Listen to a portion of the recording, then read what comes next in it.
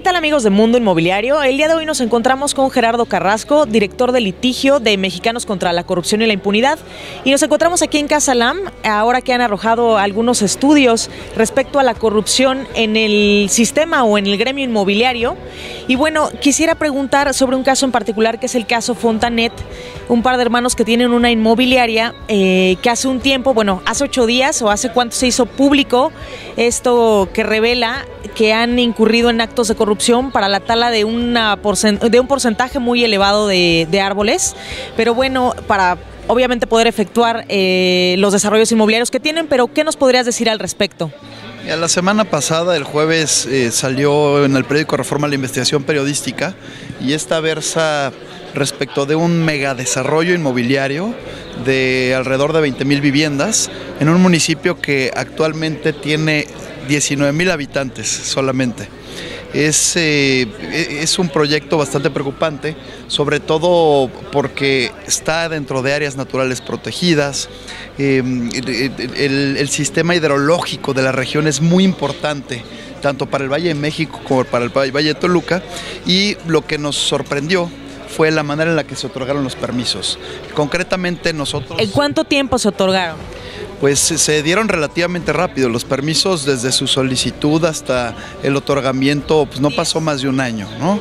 Y, bueno, fueron tanto permisos por parte de las autoridades municipales y autoridades estatales. Semarnat está involucrada en la autorización. La Semarnat también, concretamente el exdelegado de Semarnat eh, dio las autorizaciones de impacto ambiental. Entonces nosotros nos dimos a la tarea dentro de Mexicanos contra la Corrupción de preparar una acción legal, concretamente un juicio de amparo colectivo y buscamos evidentemente que se revoquen estos permisos y todos estos oficios de autorización de construcción porque están ya, mientras tú y yo estamos platicando, eh, Alejandra, están empezando a talar. Bueno, la tala lleva quizá un par de meses ya tienen varias hectáreas taladas, lo tenemos acreditado con videos y fotografías y concretamente presentamos una demanda de amparo ante un juez de distrito en el Estado de México buscando que se nos otorgue una suspensión.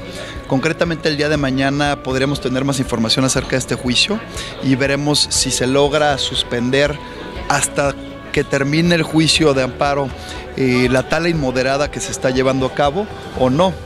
Es preocupante porque son alrededor de 230 hectáreas y estamos hablando de una autorización donde expresamente se les permite talar 180 mil árboles, más de 180 mil árboles. Ahora sí quiero decir una cosa, nosotros no tenemos pruebas de actos de corrupción. Eh, nosotros estamos enfocando las acciones legales en contra de las autoridades y estamos pidiendo que se investigue.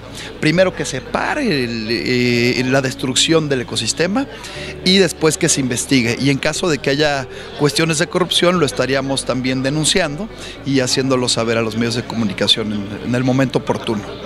Claro, y hablamos de un área forestal, como bien mencionas, protegida. Esto es eh, un delito de entrada, si bien no hay indicios de, de, un acto como tal de corrupción, sí es corrupción efectuar algo que pues no se podría llevar a cabo de manera regular pues el desarrollador tiene, los permisos existen, los permisos se dieron, eh, para que exista un delito tiene que ser al margen de cualquier autorización otorgado por, eh, por autoridades municipales autoridades estatales. Entonces desde ahorita no podríamos estar hablando de delitos. Si talaran sin, sin permisos sí podríamos estar hablando de delitos, sin embargo lo que queremos es que se investigue, porque en los tiempos y como se dieron a cabo todas estas autorizaciones, pues es evidente que se contraviene la normativa eh, federal, la normativa estatal y la normativa municipal. Concretamente se permiten de 3 eh, a 10 eh, viviendas por hectárea y aquí están autorizando en vivienda, en determinado tipo de vivienda, 70 viviendas por hectárea y 100, más de 150 por hectárea. ¿no? Entonces evidentemente contraviene toda esta, esta normatividad y estamos buscando que un juez federal actúe en consecuencia.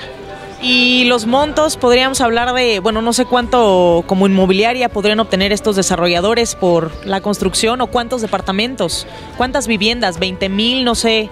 Las cifras en cuanto, las, las, cifras económicas no las tenemos nosotros, sin embargo son alrededor de 20 mil viviendas las que se están proponiendo.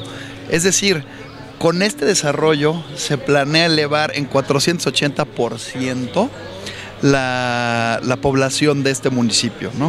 Cuando en términos de la parte considerativa del plan de desarrollo urbano municipal, pues se está hablando de que la tendencia eh, va a la baja, al contrario, ya la gente no está viviendo en ese municipio pues porque la mayor parte del mismo es bosque.